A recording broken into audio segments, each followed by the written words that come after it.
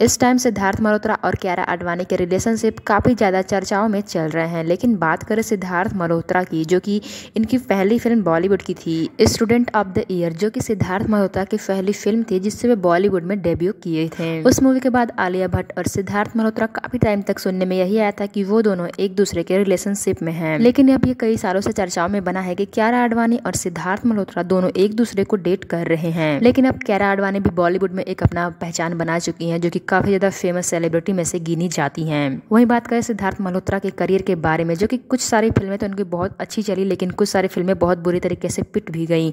लेकिन वहीं क्यारा आडवाणी और सिद्धार्थ मल्होत्रा की आई हुई फ़िल्म शेर शाह, जो कि काफ़ी अच्छा कमाल दिखाई, और फिर से ये दोनों एक दूसरे के काफ़ी ज़्यादा नज़दीक भी आ गए, और इन दोनों को हर जगह स्पॉट किए जाने लगा मीडिया के द्वारा उसी बीच फिर अचानक से ये न्यूज़ सामने आया कि सिद्धार्थ मल्होत्रा और क्यारा आडवाणी अपडेट एक दूसरे को नहीं कर रहे हैं। इन दोनों का ब्रेकअप हो गया है। लेकिन हाल फ़िलहाल में कई जगहों क्यारा आडवाणी और सिद्धार्थ को स्पॉट किया जा रहा है, जहाँ की वे मीडिया के सामने एक दूसरे के साथ एक ही जगह पे ट्रेवल करते हुए नज़र आ रहे हैं। जिससे ये साफ़ पता चलता है कि क्यारा आडवाणी और सिद्धार्थ अभी एक दूसरे के साथ रिलेशनशिप में बने हुए हैं और बहुत जल्द इन दोनों ने एक और भी बड़ा खुलासा किया है कि ये दोनों बहुत जल्द शादी करने वाले हैं। इन्होंने अपने रिश्ते को एक्सेप्ट भी कर लिया है। हालाँकि फ़िलहाल में सिद्धार्थ अपने नई फ़िल्म आने वाली मिशन मजनू में बिज़ी चल रहे हैं, जिसकी वजह से इन दोनों ने अपने शादी का तो कोई अनाउंसमेंट नहीं किया है, लेकिन हालाँकि खबरों के मुताबिक ये पता चला है कि बहुत जल्द ये दोनों एक दूसरे के साथ फेरे के बंधन में बंधने वाले हैं।